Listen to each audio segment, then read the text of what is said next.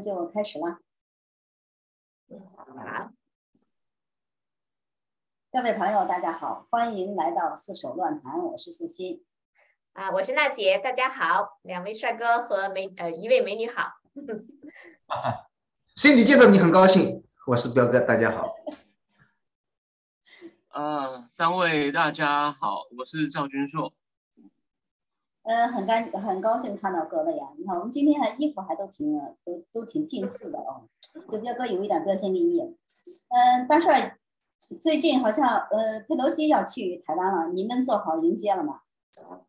呃，佩那个那个新闻是《金融时报》放出来的，《金融时报》一向跟白宫关系很好，但他跟佩洛西关系很好吗？其实不见得。所以呢，白宫放出来又隔一个月。其实这件事非常奇怪。我当初当然觉得，虽然我个人不喜欢佩洛西，但美国派这么有分量的人来，怎么说这台湾是好事。所以我第一个反应是觉得不错，但是觉得这么早放出来，那时候我就在我脸书上写说：小心拜习会啊，小心拜习会啊，说不定又是一个平衡的手法。结果呢，第二天哇，不止啊，拜登不是讲了话，也引起台湾很激烈的讨论吗？第一，拜登说。先不讲他有没有确诊会不会影响，我觉得他现在其实看起来好的很。拜登不是说我十天内要，应该是十天内要跟习主席三通话。第二，他说国防部会反对佩洛西去。你看这样把责任就说，其实这样讲好了，佩洛西来，中共可能会有动作，所以国防部会担心，这个合理。但是你这样公开说出来，这实在是就台湾虽然没有引起很大风波，但是台湾人也都看到了，觉得。就觉得说，哎呀，这个这件事大概也也也黄了，也黄了。那这次呢，拜登大概没有痴呆，但是呢，这边补充一件事情，我先讲一个小小无关的。我认为拜登其实他的心智能力啊，无法做太复杂的决策，但这件事倒是不知道为什么忽然清醒了。我举个例哦，他去中东的时候呢，不是在以色列讲完话转过来又对空气握手，然后呢，好像到了这个沙特的时候，好像就站在一下了飞机又说，哦，我我再来，我再来要干嘛？然后记不记得那个两两个多礼拜前他在美国，不是他的稿子里面有一个小抄吗？写说 repeat the line，他又把 repeat line 大声的写出来。然后三个礼拜前不是又从脚踏车上，明明脚踏车里没有在动，又摔下来。所以呢，当然这个离真正的痴呆或者是无行为能力还有点距离。可是就是他他的年龄哦，其实你要他就他的判断力或什么，其实已经大不如前。就是你把全世界最重要的国家的。位置交到他手上呢，实在是一件是个灾难呢。我认为是个灾难。那那那这个，那我们再回到正题，他呢，我认为他这样公开说出来，国防部有疑虑啊，把坑推给国防部，然后意思也就是这个风险太大。所以呢，我目前的解读是呢，可能《金融时报》是白宫，当然因为佩洛西地位这么高，他不是普通的国会议员，所以他要来，他的整个行程安排都要跟。政府协调，甚至跟军方协调嘛，所以《金融时报》听到这消息了，白宫叫他放出来，为什么？然后呢，就有点像唱双簧，把白宫先放出来以后呢，拜登再出来说，哦，不行不行，类似就暗示他你不要去了，因为他现在拜可能拜习会，中共又在给他什么压力，他就故意拿这个出来跟中共说，你看到佩佩洛西我帮你挡掉了，你可能不要再不要再逼我讲什么，不要支持台独啊，或者是。让人家觉得我在出卖台湾的事情，应该是中共给他压力哦。我也不觉得他会主动出卖台湾。那他现在呢？因为没办法了，一直被中共压，但又不够强悍又无能，所以呢，只好想这种想这种烂招啊，真的是好笑啊，对不对？而且那再补充一下，你想看，如果佩洛西自己办公室反而就很低调，说我们不承认，呃，美我们现在无法确认这件事情。美国国务院也说，他的行程这个计划呢，只是 hypothetical，这真的好笑了，也不敢讲。所以说，你有没有想过？没有错，这件事的确很敏感。为什么《金融时报》要主动丢出来？以《金融时报》之前常常会丢很多，像拜习会啊，都是《金融时报》先丢出来的。所以呢，这个一定有背后有动机。那这只是我其中一种猜测，但是呢，绝对不是好的动机可以确定。只是到底是怎么个不好法呢？我们可能还要看后续。不过现在看起来，拜登都这样讲话了，大家不要抱太太高的期望。而且再讲一次，这种事本来就应该保密到最后。要肥洛西忽然出现在台北机场了，大家在耶耶，这是让中共来不及跳脚，哪有这样一个月前先讲出来的？找死吗？就这样，所以很怪，非常怪。先讲到这样，有没有可能是为了给办席会，然后增加上一点砝码，然后这样放故意放出来的？呃，我我我认为是啊，就是故意先，而且呢，故意先讲出来说裴洛西自己要来，然后呢，拜登就跟就是拜这样子，现在现在跟他协商，应该是 Jack Sullivan 跟他幕僚的，跟习近平幕僚协商，对，就说我帮你挡掉喽，你你欠换你欠我们一个人情哦，别乱施压，或你你反过来应该要怎么样？对对对，因为有没有另外一种可能，就是说你看拜登呢，然后这个事情宣布了之后呢，你看拜登呢，他不是说要反对嘛，然后呢，他就开始又阳了，又开始挨了。而且刚才的有一个新闻说，给他吃的那个药呢，就是心血管方面的药，因为那个那这个疫情和那个疫苗嘛，它就是很容易会引起血栓嘛。但是给他的心血管的药呢，给他停掉了。所以呢，现在呢，拜登呢是有一点凶多吉少。那么就是说，会不会又预示着这个佩洛西的这一个台湾之行是肯定会成型的呢？喂，大帅，那儿 frozen 了。好像就是他那边可能没有信号了。娜姐，你觉得呢？嗯，怎么说呢？呃，这个拜登啊，前天啊是昨天，他是自己说他自己得癌症了。其实像这个呃大帅刚才说的，他已经神志不清了，可以这样说，就是太有点啊，就是根本没有嘴上把门的了。后来白宫出来说啊，他这个呃，他是讲他以前得过皮肤癌。但是今天我其实做节目，我讲了，他说的就是 I have，我现在就是有嘛，对吧？你如果说你有稍微的能，就是说，呃，是一个英文讲的比较好的，你可以完全用一两个多讲几个字，就可以把这个讲的很清楚。我曾经得过，或者我以前得过，对吧？你你说你你现在就有，那就是呃你有嘛？个总之就是说。他可以说是神志不清，就是不知道自己在讲什么啊。那而且这样的事情是已经是，呃，只要他一出面就发生，一出面，任何场合他一出来，不是找不着地方，就是不知道在干什么，就是念错字，就是说错话啊。他在那个哪里的时候？以色列的时候，居然要这个荣耀这个大屠杀啊！本来就说错了一个字，对。总之就是他这样的一个情况。那突然今天呢，又说他得阳性了，而且呢，又是呃给他吃这种药，这种药好像要把他弄死一样的这个这种药，对吧？这个是很可怕的啊，就是有可能。当然了啊，就说有的人说，那拜登死了不是好吗？这。问题不是这个，问题是他可能他也是一个民主党的棋子，会不会是说民主党已经觉得他没有用了，是想要换人了哈，是把他弄下去？嗯，至于说这个他现在这样的一个情况，嗯，如果真的是民主党要抛弃他怎么怎么样的话，那是一个更大的民主党的一个大的局。而佩洛西他到底会不会去嗯啊台湾？我其实我是希望佩洛西不要去台湾的。拜登他们现在插手什么事儿，什么事儿就搞烂啊！他们佩洛西也好，拜登也好，他们去插手任何事情，这个事情肯定糟糕，比 想象的要糟糕的很多很多。你说这个阿富汗撤军，对吧？你如果大家就不要动，你你没有本事撤，你就是不要动，还好一点，一动哈妈，对吧？大批的武器送给了塔利班。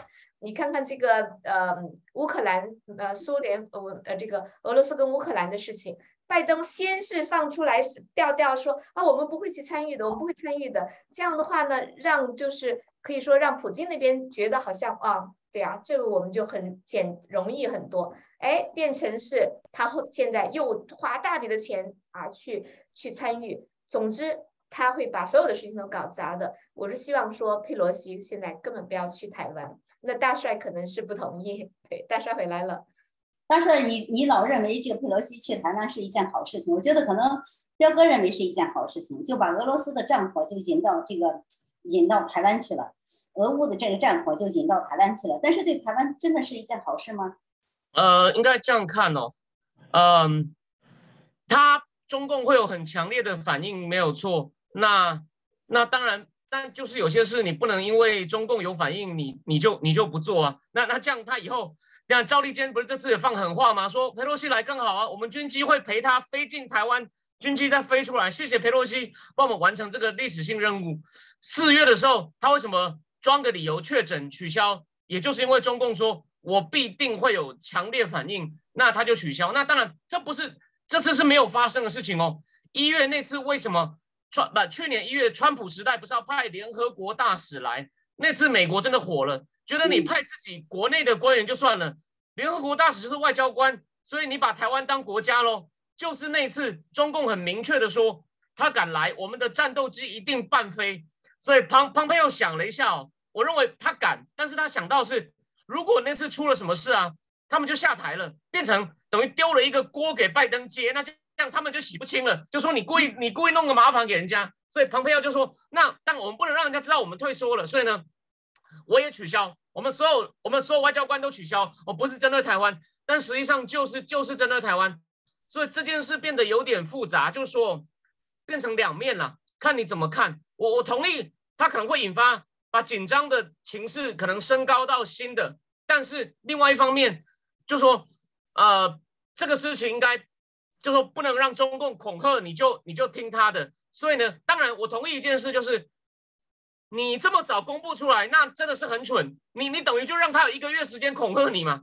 你你这种事你要做可以，就是有技巧，就是我说的。你就是下了飞机以后才说，哎，我来了，我来了，怎么样？你现在你现在叫也来不及了，对不对？所以呢，这这件事本身是不单纯的。如果讲这种事的大原则，就是我认为不能因为中共会反对你就不做，但是不能像这样做的这么没有技巧。所以这次呢，应该可能不是真的，就是一个政就是一个政治操作，然后又把台湾当棋子。那当然，拜登政府把台湾当政府当棋子已经很多次了，我们当大家复习一下嘛，大家不要忘了，一个多月前。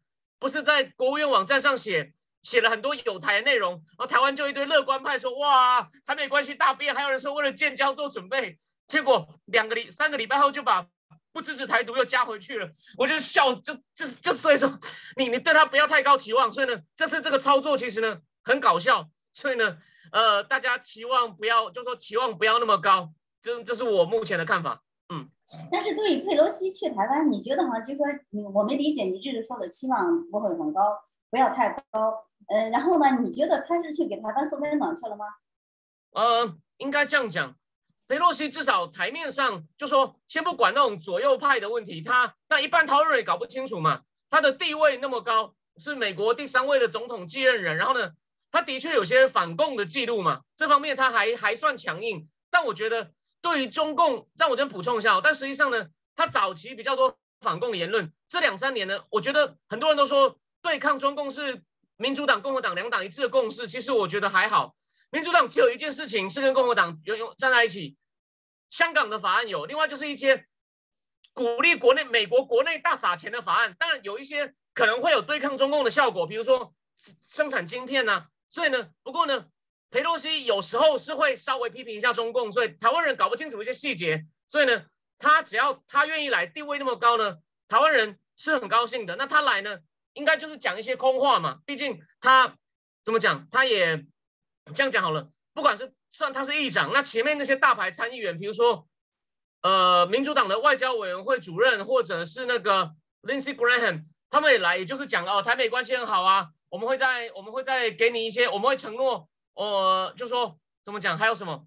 就是他们也不能给什么太具体的建议，不像那个谁，川普时代的国防部长艾斯培，因为他当过官的，他来就说你们兵役要延长一年，我男女都要当兵，这对不对是一回事。可是呢，哎，他当过，所以他能给你一些具体建议。那国会议员来呢，通常除非政府有给他任务，否则呢，也就是讲一些场面话。那我觉得佩洛西呢，他自己。他自己，我觉得他来应该就是就是就是讲一些，就是讲一些高的价值啊，说我会跟你们站在一起啊，那我们会根据台湾关系法提供防卫能力啊，但提供什么武器呢？他也他也没能力讲啊。但是呢，但很不幸，某种程度可能台湾人吃这一套哦，对台湾人是有用的。其实我觉得哈，给台湾说的话，你看那个安倍，我觉得可能会理他说台湾有事就是日本有事。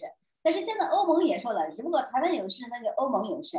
所以呢，我觉得哈，就是说，如果真是这样的话，我觉得台湾绝对跟乌克兰不一样，会把美国会直接拉进战争。所以说，你假如说中共敢去轻举妄动，那么日本肯定就起来。那么日本起来肯定不会自己起来，肯定会把台湾也会肯定会把美国拉进来。你感觉娜姐，你觉得如果中共真正直接交火，你觉得美国这么强大的，会不会中共就灰飞烟灭？那应那呃，飞灰烟灭是不会的，谁也不能让谁飞灰烟灭，最多可以把台湾飞灰烟灭，有一点点可能，但是也也不是很可能啊。你就说美国，除非打那个核核战争，否则的话呢，谁把谁飞灰烟灭都是不太可能的。那呃，我是觉得哈，呃，大家也知道，就是呃，其实，在拜登上台以后，军队是一个大的一个呃，可以说是肃清啊。现在呢。二十多万人，呀，二十多万美国的军人，因为没呃没有打疫苗，居然就是要让他们退役啊！美国的军队现在是可以说是在改造，就是要改造成极左啊，walk 啊，就是这个部长那个大黑塔，嗯，对。大黑塔也是上来之后哈，我有朋友他的孩子在军中，他他他们都要删除掉，有人就告诉他们啊，因为要全部给他们弄档案，就是要看他们谁是保守派啊，谁是呃他们的人。然后呢，你是保守派，如果你是挂了号的保守派，你在军中都没有办法升职加薪，而且后来又用这个疫苗事情，所以其实美军现在是怎么说呢？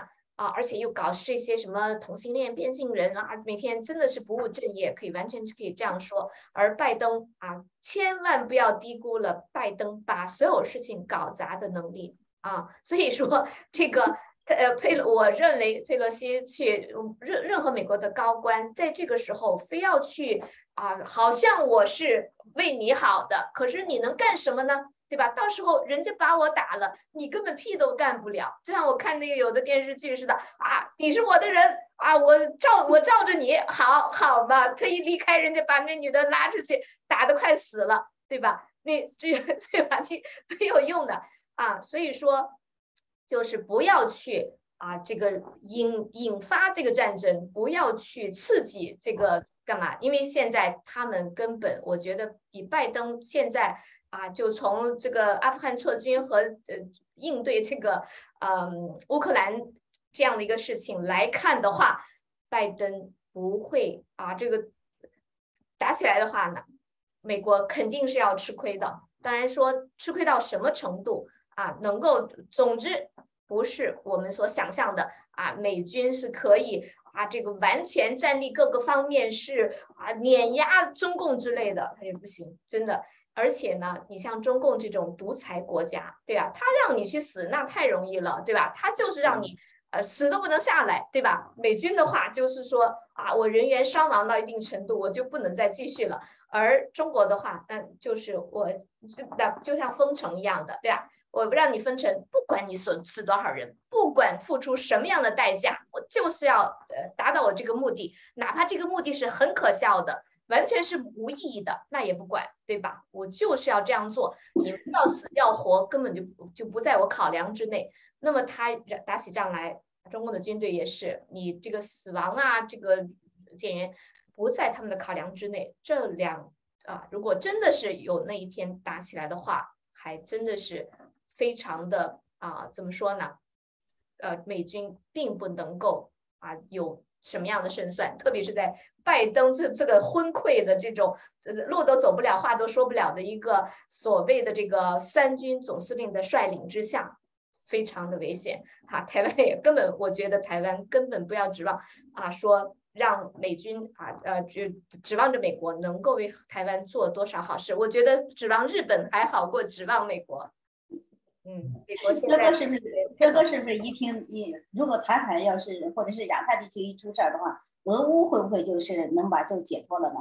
还有一个，您那个嗯，上一期节目你没有做，然后普京呢去出出差了，然后你呢盯着了，然后呢他出差以后那个战战况如何？去了以后怎么样？今天他们还在那说，然后那个普京在那个伊朗的那个总统面前，然后你看像个小学生一样。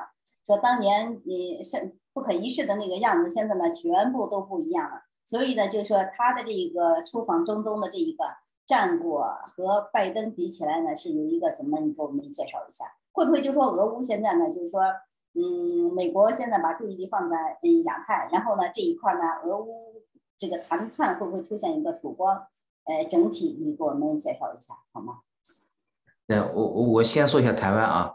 台湾台湾这个事情，我我认为佩洛西访不访问台湾，呃，现在只只要是老习在那，老习掌权，这个都不重要，因为他现在我觉得，呃，台呃台海很危险，真的是很危险，因为他现在手里面没什么可做的了，对，国内烂得一塌糊涂，他现在唯一的办法就是找一个大事情来掩，更大的灾难来掩盖他那个呃国内乱七八糟的事情，所以呢，有没有佩洛西呃访台，他都可以找一个理由来在台海闹事，就是呃。嗯我觉得是这样，他这样嗯没有其他的办法了，因为嗯如果老习在台上按他按照他的那个行为模式、思维模式的话，他就会找一个不管不管什么样，他会找一个理由在台海挑挑起事情来的。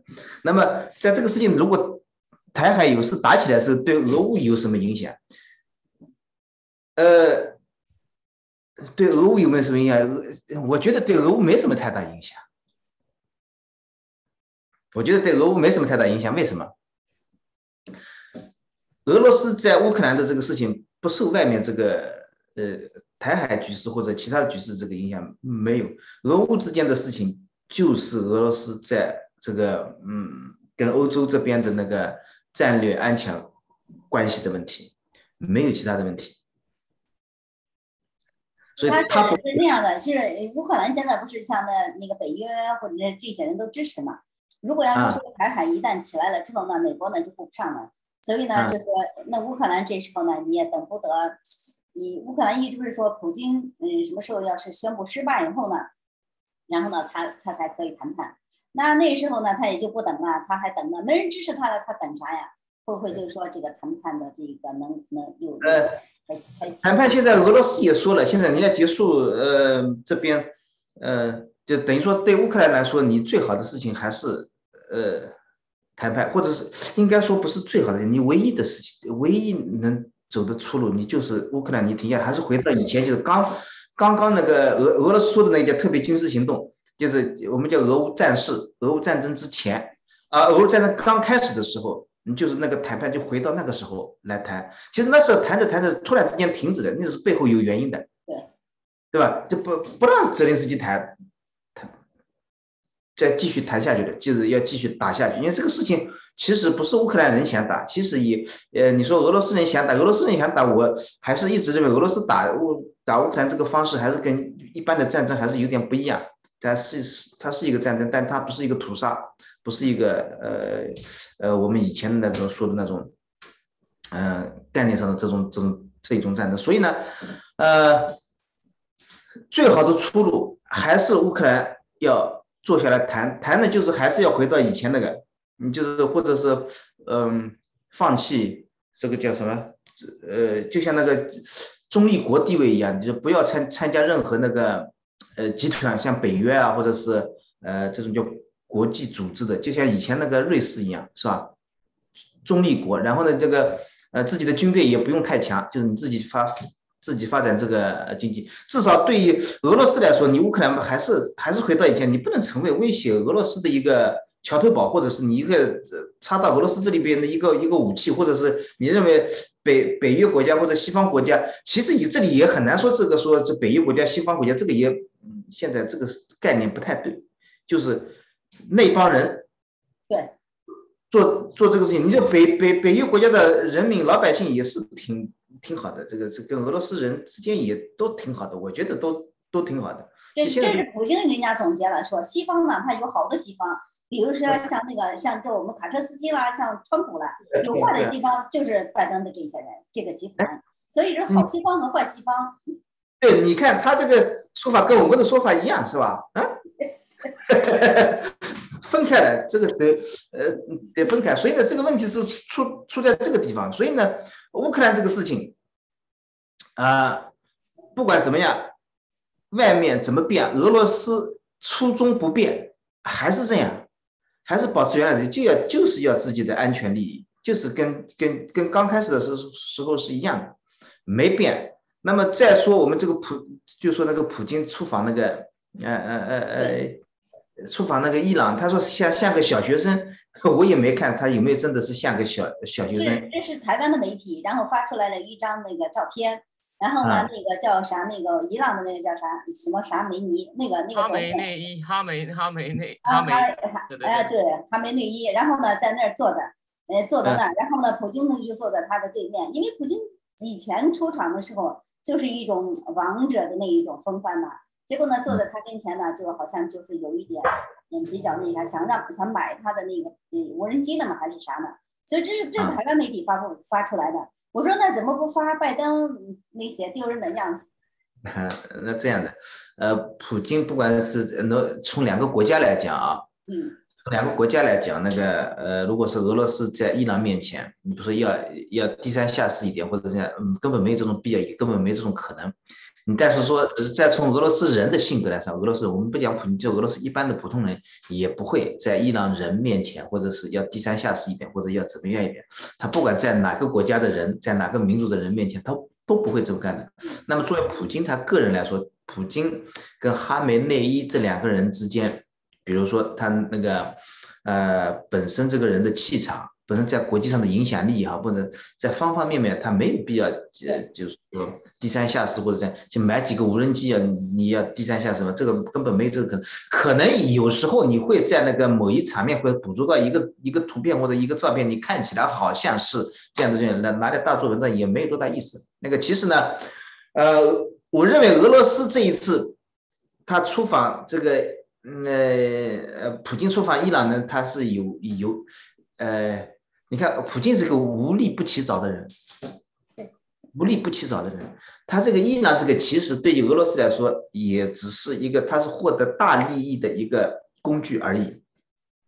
他每次都这样，他每次都这样有这个事情。你看现在，他在伊朗要增强这个呃自己俄罗斯的影响力，来呃就是中东中东这一块，他要获取更大的利益，他要获取更大的利益，就是把伊朗现在是以前还有那个对伊朗的有一个有一个呃有一个制裁或者不让他发展核武器，就是有一个制有一个措施，就是伊朗被被制裁的那个呃就也是铁桶式的那个制裁嘛啊，很很严重。那现在俄罗斯也遭受差不多的待遇，就是制裁。那等于说这个也没有必要来跟你现在所谓的西方这个那个大，这个叫这个这个这个这个政府集团，就是呃西方政府集团，就那个呃那个 deep state 那那一伙人，就是你们制定的规则，我俄罗斯不跟你玩了。对，不跟你玩了，怎么玩呢？我自己玩。我自己玩呢，就是说，不管伊朗是邪恶也好，不邪恶也好，这样也好，那样也好，呃，在我们说在在那个嗯呃西方统治者眼里面，你伊朗也是邪恶的，俄罗斯也是邪恶的，是一个等级的。对。那么我现在俄罗斯等于是唯一不用考虑你把我当不当邪恶的，或者把我当好人当坏人，这个不重要的。不重要的，我得插一把，这个在那个你们西方这个那个那个那个呃，不是在中东，在沙沙特啊、阿联酋啊那个呃，在那个地方有有有那个利益嘛？嗯，那我这个伊朗这个这个棋子，我为什么不用一下呢？我就是要撬动，就是把就是要让伊朗来，就是钳制来对垒。跟你在这个中东的这个利益，俄罗斯不会放弃在中东这个利益和影响力。他通过伊朗这次就是加强，在乌克兰，你看他就是说你已经呃，就是就是索罗斯也好，拜登也好，他们这一帮人就是你这个北约那一帮统治，就是也是盗取了这个政权的这那一帮人。他看在在乌克兰，想通过乌克兰踢进来，碰到石头了或者碰到铁板了，这个脚踢疼了是吧？踢不进来。啊，那么现在等于说是，你看现在俄罗斯等于说是从原来的防守，我认为转为就是在出击，在出击了。就是乌克兰的这一块的，对俄罗斯的国家战略利益来说，俄罗斯已经可以得到保障了。那现在他是怎么办呢？他就是在主动出击，到伊朗就是出击，我认为就是出击了。好，包括跟印度之间的那个合作也是，他也是在出击，而不是。单纯的防守，虽然制裁对俄罗斯影响很大，你看，所以呢是这样，所以我认为这次在呃普京去访访问那个伊朗，呃，也没有太大的意外，或者也没有太大的意，如果是我是普京的话，我想这个我也会做，我也会这样做，我当然把把伊朗拉过来了。我当然把把伊朗作为自己的一个一个一个一个一个一个呃呃战略上的一定程度的合作，然后呢，把我的利益就是要通过那个地方，要通过伊朗来实现我的利益。然后到时候你看，你美国又得跟我谈，你又得跟我谈，哎，你不跟我谈不行啊！你不是在乌克兰不是威胁我的利益吗？我就是现在是出击到伊伊朗到中东来，到中东来，我要拿我的利益。你必须得给我让步，你不是现在要让限制俄罗斯的油价吗？就是最高最高售价吗？哎，我进来了，到伊朗来了，给你就是就是我要来做这个事情。你看这个是，所以呢，呃，而且这个事情还不，这个对于呃拜登他们来说，这个还不太好弄。伊朗这个事情还不太好弄。你看伊朗啊，制裁那么多年了，制裁那么多年了。然后伊伊朗，你说你这个国国家虽然这个嗯，在现代化发展上受到了很大的很大的影响啊，受到受到很大的呃牵制。那你看现在等于说是呃呃，伊朗这个事情是什么？伊朗还有一个事情就是说，呃，从国家整体的那个战略利益利益来说，伊朗是有一块，伊朗还有一块利益是谁的？是那拜登他们那个拜登奥巴马他们私人利益也在那里啊？那你还有他们还有一块私人私私人利益的，就是，呃，其实你看啊，很奇怪的，美国对伊朗的制裁是非常严厉的，但是伊朗的油还是在世界上卖的，还还有一些一些制裁和那个援助也这个钱也是通过通过伊朗走的，那么那里面这个。这个私人利益好像是我们全媒体以前以前以前也是老全还是谁？还是小严那边还是哪里有有说过这个事儿？就是他们这个在在在奥巴马他们奥巴马希拉里他们伊朗有很大的利益，就跟在乌克兰一样，他们有很大的私人利益在在这里面啊。对，是吧？然后你看这次如果是普京的话，到到伊朗一看，呃，以后说普京以前我想也有一定的那个。线索或者证据在手上，他们有那个势力。现在这次去呢，他们说，你说他是要去买无人机的，你可能是这个呃情报，或者是可能对于普京来说也是很很重要的。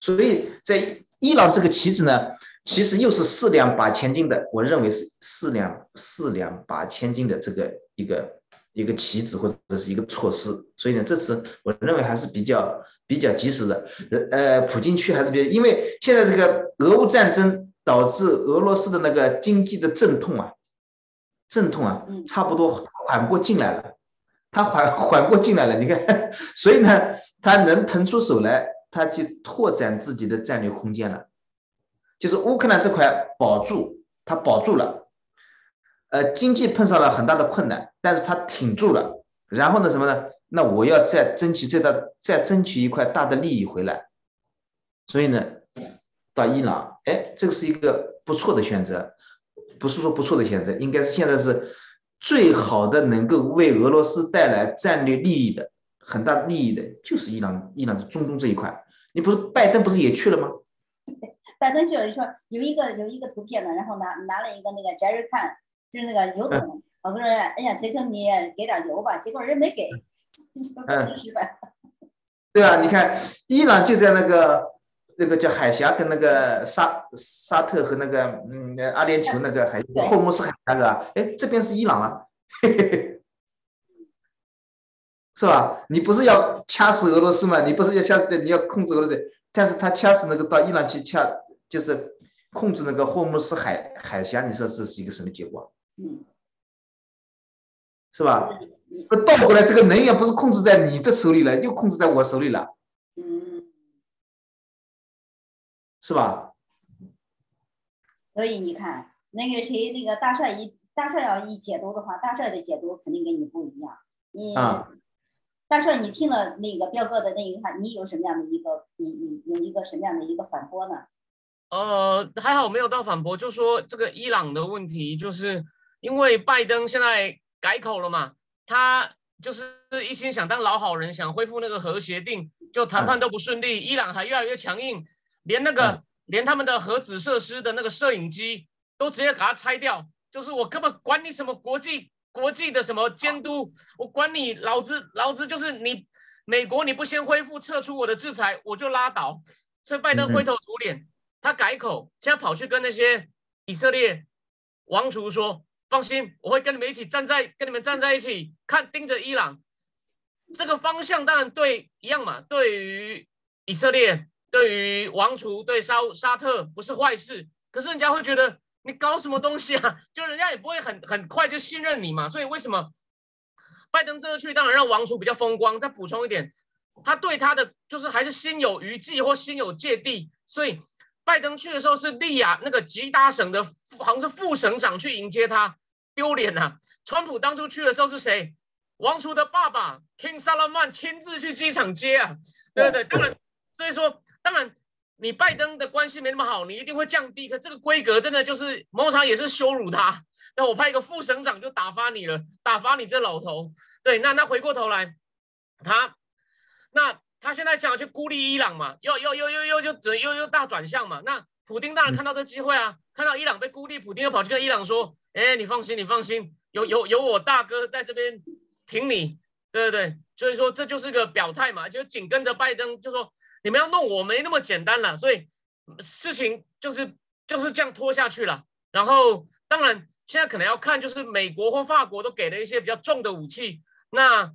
给的速度快不快？像美国那个海马式呢，其实还蛮有用。所以美国当初不是有讲吗？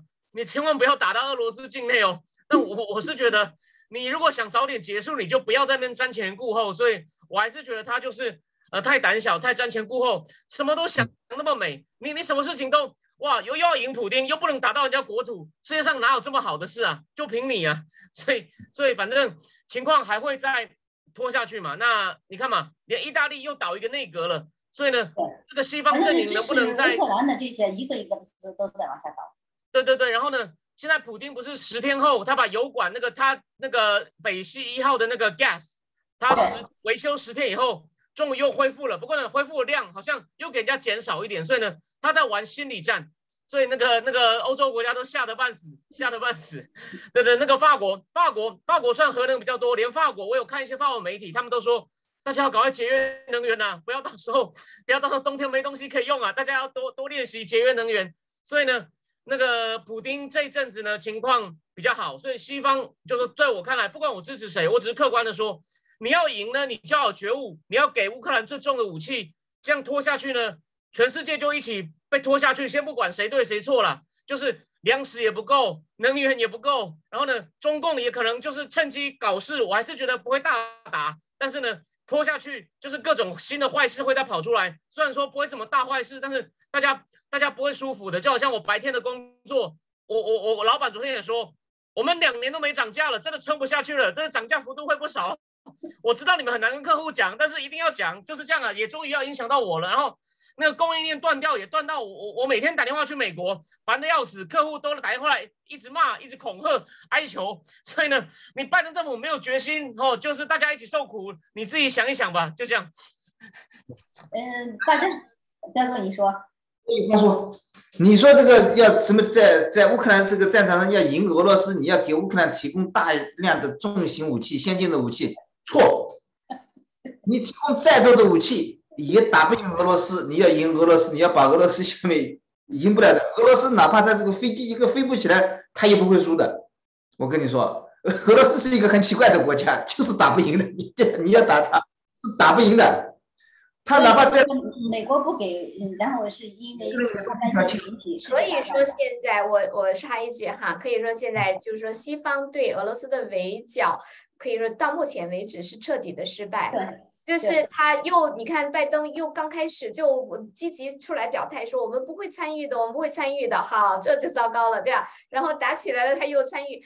当然，有人说他们是故意的，就是让这个战火延续。那总之，到现在对俄罗斯的制裁，当初说核弹级的制裁，俄罗斯几天就不行了。现在呢，可以说是欧洲和美国受到了重大的制裁，可以说所有的东西都涨价了啊！这个战，这个呃，很多国家都倒台了，政府都倒台了，因为通货膨胀太严重了。总之，到目前为止。这个这整体是失败的啊！以为是我是站在很高的一个高地来俯视俄罗斯，要怎么样去啊整治俄罗斯？这一招已经错呃遭呃已经失败了。所以说，台湾千万不要指望说现在如果打起来，美国可以做出什么好的事情来呃保住台湾或者怎么样，只会把事情搞得非常非常非常的糟，台湾可能就沦为了西方的另一个棋子。那当然，就说如果说台湾打起来，我觉得俄罗斯那边就会停下来啊，因为已经打了这么长了，那你钱也就那么多，对吧？你顾这边你就顾不了那边，而且看到这个啊呃这个乌克兰也是鸡肋，你怎么打你都打不过俄罗斯的，对吧？你怎么弄都打不过俄罗斯的，那你说对吧？那台湾现在如果说打起来了，那拜登他们可能就放弃俄罗斯那边。哎，你们谈判吧，一个该丢了的就丢了吧，然后呢，又转到这边来，但是呢，很有可能又变成了台湾变成了他们的棋子，跟中共对抗的棋子，来把台湾就打成焦土了，打得像现在这个乌克兰一样，哇，那个真的是太可怕了，嗯。但是中共现在好像也是，问题也是非常非常的多，对，中共问题也很大，到处在爆雷，嗯。大帅有没有研究他的那个到底是是他自己在内斗呢，还是说他的经济呢确实是金融要发生一个危机了？呃，应该是真的出问题，因为你恒大那么大一个房地产，去年所有媒体一直报，他就硬压下来。当然，金融金融危机本来会需要一点时间，就像美国当年二零零八是第五家最小的 Bear s t e r n 出事，可是也拖了大概七八个月才开始全面性的几乎全面性烧起来。美国那时候也使出九牛二虎之力在救。那恒大呢？是去年七月开始有各种消息，但确定第一个债券违约付不出来是十月，然后呢，后来呢就把它硬压下去当没事。可是呢，其实盖不住的。其实二月的时候呢，就发现啊，就就就很简单嘛，恒大欠那个油漆商、装修商，然后装修商、油漆商怎么样都拿不到钱，装修商、油漆商也还欠别人啊，对吧？就这样欠来欠去，然后呢，当然。那部分还先不讲，现在现在出问题的不是那里，可是那个部分也还在作用。最重要的就是，哎，其实也是啊，那个重点是现在是嘛，那个交贷款的人嘛，我房子又盖不好，断供。但是中共，你你想现在呢？中共不限制，中共啊，还甚至有一些支持他们的这个断供。那么就是说是经济问题呢，还是他们的那个两两帮两帮两个帮派的内斗？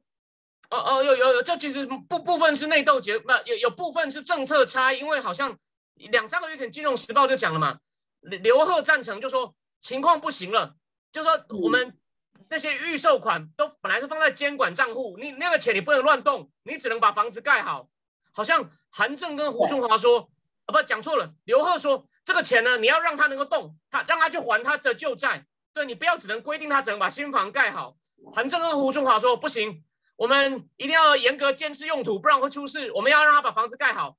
你呢？其他人拿不到钱，倒就让他倒。我们到时候再想该怎么办。那看起来呢？毕竟刘贺是习近平的人嘛，听了刘贺的话，就呢，他把钱拿去还旧债，新房没钱盖了。因为现在信心，现在整个是信心的问题嘛。你现在新的包商说，哎哎，来盖来盖，那个钱下个月结。现在谁敢呢？当然你比较，除非你确定对方很有家底，否则没有人敢动嘛。所以果然就是。钱被移走以后，房子盖不了了。那你、你、你、你有你、你没有人那么笨嘛？我我当然觉得搞什么东西啊！虽然说我因为我仍然不缴贷款，我信用分数可能会被打折，可是我不管啊！我我我我如果房子都没了，我都露宿街头了，我又没有信用分数又怎么样呢？而且现在问题是不止哦，这这个火烧起来以后呢，现在连一些房地产开发商也说，那我不要缴银行贷款了，我也撑不住了，人家也欠我钱，所以呢。虽然说目前看起来哦，你从账面上得到的数据，先给大家一个参考哦。那个烂尾的楼啊，目前大概要花两兆，就是两万亿，两二两二点四万亿，牵涉到二点四万亿。然后如果是整个房屋贷款，全中国有三十八万亿，大概是百分之一点二受到影响，一点二受到影响。可是呢，不过那个估计，现在估计的金额大概都已经到两三万亿，虽然没有很大，所以专家都说还没有变系统性风险。可是另外一方面，就这个这些数字可信吗？目前好像听说一些四川的银行啊，就是贷款很多都不正常。那个主管就说：“搞什么？你千万，你你你你，如果真的如实报上去还得了？我们银行就资不抵债了。你就把它不够不正常的全部改成正常。所以呢，还在压。”越来会越压不中，所以呢，会是像一波一波。那目前是前两波，所以我有信心这件事会烧，但会不会烧到接近崩溃还很难说。但我会说说，大家千万不要以为啊，又是就是新的官方说法，什么虽然有些危险可防可控，比如说像河南，虽然它不是断供的问题，河南也说了嘛，要帮建商成立一个纾困基金，这种东西非常麻烦的，就很像我举个例哦，虽然这我举个海外例子，斯里兰卡。中共其实帮他输，我昨天才看一个《金融时报》，帮他输困输四五年了，输到最后还不是攻进总统家，总统跑掉。所以呢，这种事呢，你没有使出一个很大很激烈的手段呢，你就这样慢慢拖下去呢，就是像斯里兰卡就是最好的借鉴，大概是这样子。啊，那那如果要是他们就是你国内呢经济要崩溃，然后呢，那最后一个出路那就是打台湾嘛，去过去抢钱嘛。两个出路。嗯。打台湾变成。北朝鲜一样，就是说，跟比比比北朝鲜更那个，更封闭。先进有有二维码的。呃，第二个出路就是什么？第第二个出路，我认为还还有一个，放开，把这个政府政府全部取消掉，这种什么所有书记全部全部回家，然后这个全部放开，中国人民老百姓，我跟你说，聪明的不得了，几年就回来了，这个经济就好了，就没。舍得呢？这样的江山，他们怎么舍得呢？对，他们不舍得，那只只只能是这样，这样把这个公务员队伍全撤了，什么都叫把警察全撤了，城管全撤了，全部解除掉，老百姓自己把跟清朝一样，跟明朝一样，一个县里面一个县官就够了，弄一帮这这几十个人就够了，现在弄几几几万个人在那里，公务员在那里搞搞搞，这搞搞到嘛，就就瞎管，他在那里瞎管瞎弄，在人家就是要控制，对。啊，这对呀。人家才不舍得说，因为你说人家瞎管，人家就不管了，就把放给你放生了。所以就两条路嘛，也就是说，政权共产主义政权倒台瓦解，中国人民自寻出路。倒台太难了，我觉得好像在中共那个倒台太难了。你自寻出路，那当然是想了。所以呢，我觉得太难，他不像美国。你像美国吧，我就觉得你看他这个拜登，你你像你这个政府，你就你胡作非为一下，然后大家呢是一方面是骂，另外一方面我觉得话，美国最最好的一点就是手里有枪，所以呢就是娜姐你们好像又出来一个，我觉得话这个是我不能说这个是民众的觉醒，因为美国人一直他都很清醒，嗯，我手里有枪，然后你不管怎么样，你不能把我的手里的枪给我夺掉，然后呢我就可以去自卫，可以去我就可以保护自己或者保护我的亲人或者保护我的家人。对啊，又出了一个这个这个，对啊，对，这个是个上次是个少年英雄，对，一个枪击案，然后呢，对呀，这个是这个少年英雄、平民英雄啊，这是非常的了不起，就是说民间的哈，他用枪哈，真的是能够保卫自己和保卫身边的人啊。这个事情呢，发生在上星期天啊，今天是星期四。那就是大概四天前的傍晚，就这样的一个年轻人，他二十岁，他到这个帽里面呢，就在印第安纳州的一个呃叫 Green 呃呃 Greenwood 这个地方的一个帽里面，他呃据说他进去呃就直接到了这个洗手间去做准备，带了三支枪，有有一支是这个呃两支全自呃半自动步枪，但是呢有一支是拆开的，然后还有一支手枪，一百多发子弹。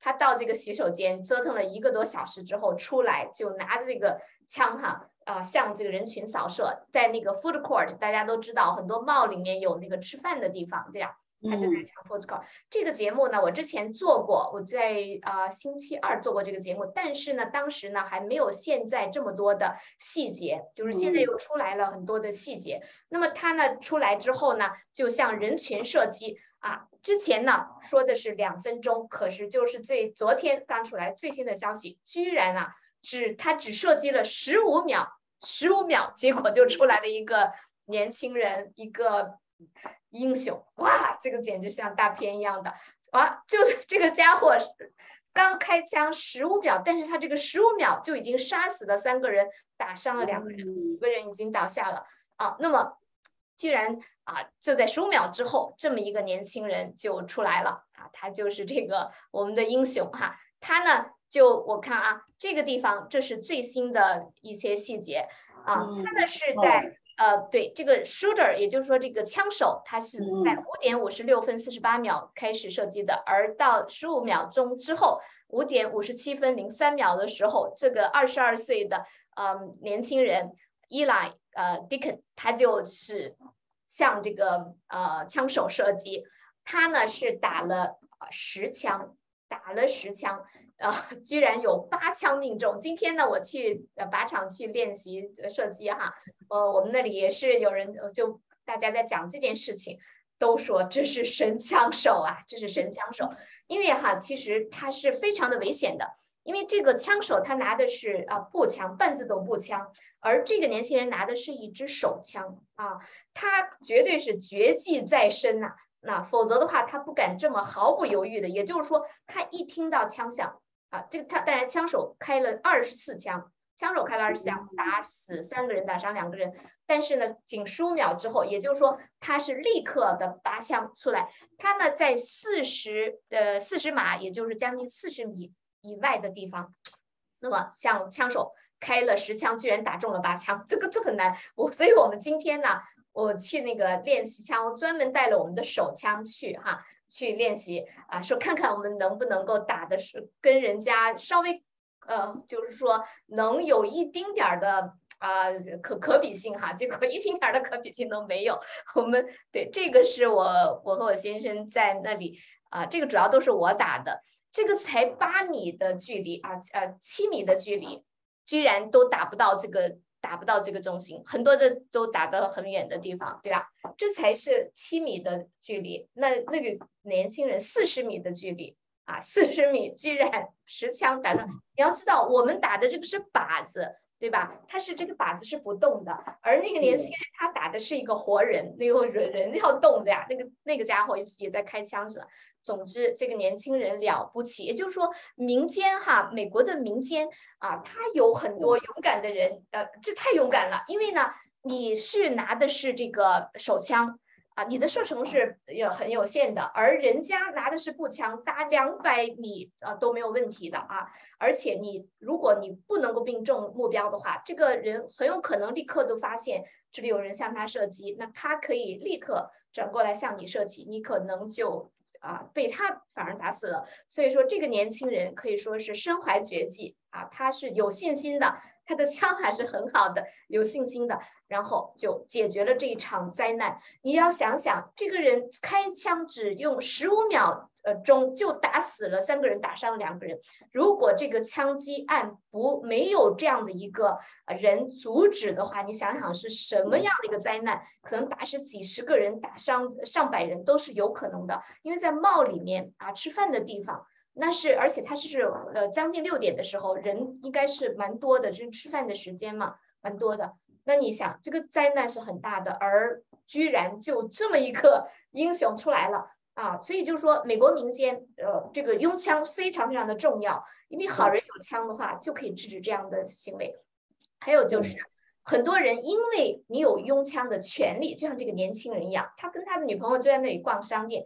就因为你有持枪的权利，他手上首先他带着枪，然后就是他就一直在练习射击，对吧？如果你一个没有拥枪权的国家，那你只有是警察呀什么什么才会使用枪，才有这样的枪法。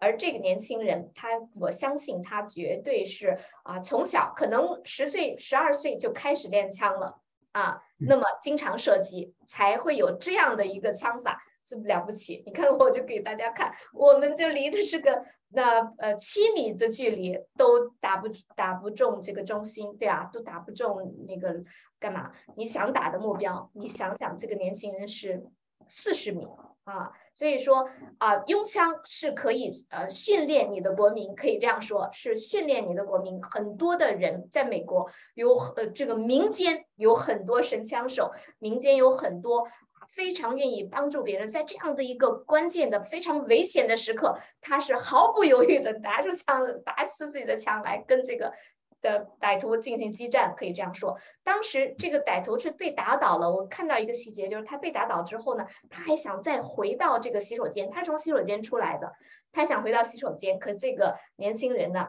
是真的是非常厉害的一个。什么都懂的，对啊，他没有被吓到。他有的人可能就说，我打一枪，哎，他倒下了，我就不打了，不行，对啊，你要继续打，要把他打死，对啊，对，真的是，因为你如果说你没有足够的打打中他，因为他手上毕竟有武器，你靠近他的时候，他有可能在反击，都是有可能的。所以说，这个年轻人是非常训练有素的，他知道打倒了不行，继续打，打了十枪。把他这个枪手打死了啊！就是当场击毙枪手，太了不起了！真的是看到这种美国的民间的战斗力是很强的啊！我今天去打靶，哇，旁边一个年轻人打，他拿了一支枪哈，我的天呐，那个威力太大了！打的时候那个枪筒是喷火的，我站在他大概十步远，也就是十米远的地方，哇，我的腿哈，就是他那个射射击之后呢，有那个。呃，shot wave wave 还是什么，就是那种冲击波哈，就是那个热浪哈，哇，我都感觉到了。我站在它那个大概十米远的距离，我都感觉到那种枪产生的那种热浪冲击到我的腿上，真的是很可怕。对呀，民间有很多很高级的、很呃威力强大的武器，而且也有很多人他会使用这些武器。而且是呃不是神枪手级别的，对这点上是就像您刚才说的啊，这个是美国的一大优势，就是人民也不是好欺负的，就不是说你想怎么样就怎么样的，真的跟你拼命的时候，你政府啊，你政府不要太过分，真要跟你拼命的时候 也是可以拼的，有的一搏的，嗯，对，就是。这样的话，就是说他能是那个这种神枪手，这种智勇双全，然后呢还敢挺身而出的，他能呃遏制住这个坏人。同时呢，我觉得他，对于这个政府在作恶，他肯定他会多少他会那什么上一些，有一所收敛。但是那你说在中国，我觉得好像，哎呀，我感觉你说像彪哥说的那种，不太可能发生。啊，我为什么老是觉得是可可能的？你那是你的梦想，你的中国，那是你的中国梦。共产党不会轻易的、轻易的放下权力。你想想，过去文革时候也好，什么时候也好，那人都已经饿死了，对对 对吧？他都不会在乎你的，他继续更严格的、更残酷的掌控权力啊！他可不是说会一看，哎呦，呃呃，这个人被饿死了，他就放弃他的权利。我想他们是绝对不会的，嗯，没有那么容易。我把他们想象的太好了，是吧？想的太把他们想的太有人性了。其实他们根本不在乎。就比方说，如果跟美国打也好，跟哪里打也好，他绝对不会在乎你我死多少人，他可以瞒报啊，根本不需要那个告诉你死了多少人。啊，你像这个上海这个封城，我相信这几万人肯定都死在这个封城过过程中，就是缺医少药，或者是有有肾病的，有要换肾的，或者是要要呃那个不是说换肾啊，就是那个有那个嗯叫什么来着，透析啊什么这些哈，心脏病、糖尿病啊什么这些不无法就医、无法及时就医死掉的，和老人在家里面没有人管死掉的。肯定都得上万，几几千万的城市，对吧？肯定得上万。但是，哎，咱们不知道，因为人家是彻底掌控的媒体，根本就不让你知道。下一道命令，你就得死，就这么简单。嗯，这个很可怕。嗯，所以北美现在呢，我觉得好像这个拜登啊，什么特鲁多呀，他们可羡慕的一种管理方式了，在努力在学。但是呢，我觉得北美的这种大觉醒啊，我还是感觉。现在呢是越来，我觉得还是大家的，就是这个觉醒的这个人数呢是越来越多了，而且大家呢越来越清醒的能看到他们的这一些，呃这些表演了，所以我还我也我还是挺有，我觉得挺有信心的，嗯，所以就是说，假如说台湾要出现问题，我估计台湾会不会像乌克兰一样，肯定是就是呃台湾有事，日本有事，日台湾有事，现现在有欧盟有事。呃，那么我觉得哈，可能对于台湾来说，可能大家呢都会有一些，嗯，多一些那种，会，毕竟它是一个民民民主社会，所谓民主的一个优等生嘛，会多一些这种支援啦，或者是鼓励啦，或者是怎么样的，但是还是不能掉以轻心啊。嗯，今天呢，咱们就到这儿，最后呢，我们都来总结一下。嗯，彪哥，你先开始。嗯，我先总结。那个这么说，刚才说到那个美国那个拥枪权，哎，这个拥枪权当时当初的时候就是拿来就是这个拥枪权最主要不是呃来制止歹徒的，制止歹徒有警察，这个人民拥枪就是拿来干掉坏政府的。如果政府坏的话，就是人民 用枪把它干掉的。所以用拥枪权，呃，是吧？还有一个我要说一下，就是说什么，呃，你看。我还是认为这个世界是那么美好的。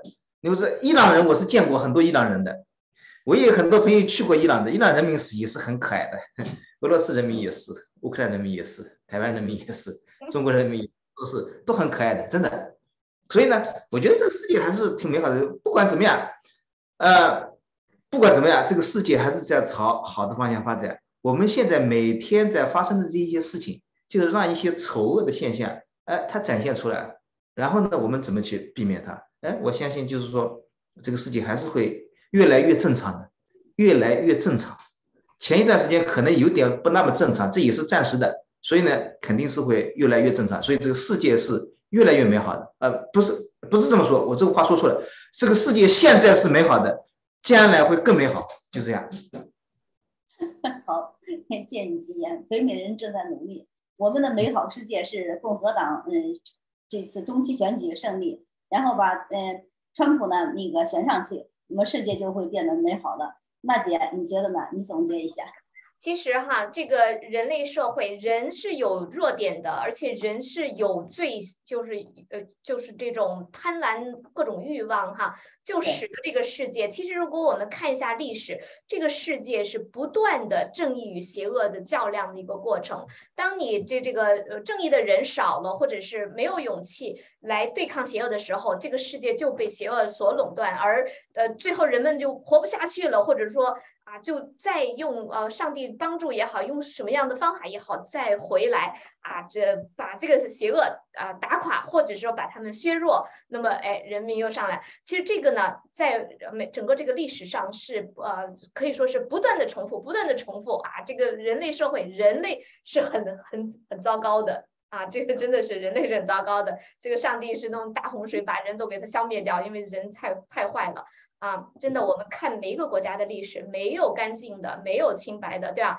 啊，就是杀呀杀呀杀，抢夺哈。那么其实我们很幸运的是，在这个呃二战以后的我们呃这样的一个生活，在美国主导下的这样的一个世界格局中啊，可以说享受了很长的一个时间的太平。其实很多在以往的话，每五十年啊，人类学家就是每五十年就会有一场战争啊。每一个人如果活的超过了五六十岁，你就会经历一场战争。而我们现在呢，就说还非常幸运的啊，是。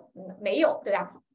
但是呢，就是啊，怎么说呢？这个由于我们都懒惰了，人们就是享受了好的生活。其实真的是这样的，人们当你享受了好多好的生活之后，你就变得又笨又傻。